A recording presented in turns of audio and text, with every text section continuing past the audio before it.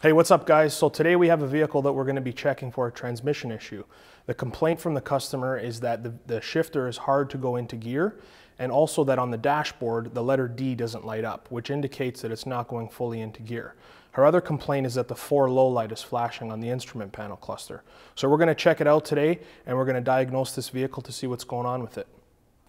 So one of the first things that we're going to do is we're going to scan the computer system to see if there's any diagnostic trouble codes in it. So we're going to go into our scanner here.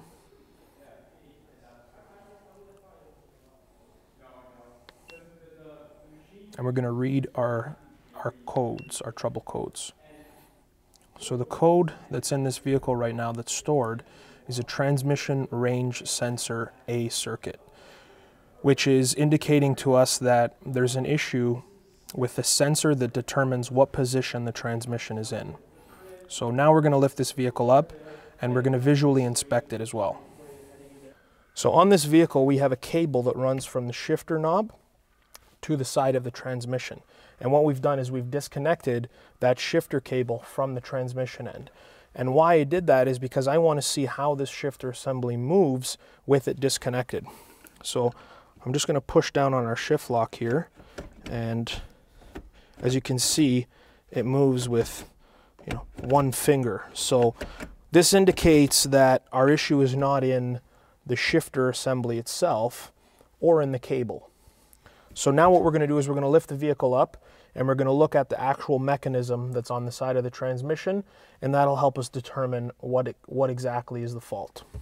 So what we've done is we've disconnected our shifter cable. So this cable runs to the shifter knob, which we just showed you inside, and it connects to this lever assembly on the side of the transmission. So just as easily as that shifter knob moved, this mechanism should also move just as easily. So you can see that it requires a little bit more force to kind of get it moving. It's not as easy as the shifter knob was from the inside.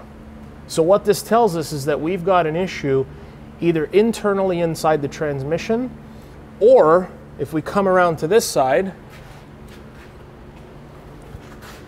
we've got our neutral safety switch. That rod that we saw that goes through comes out to this side.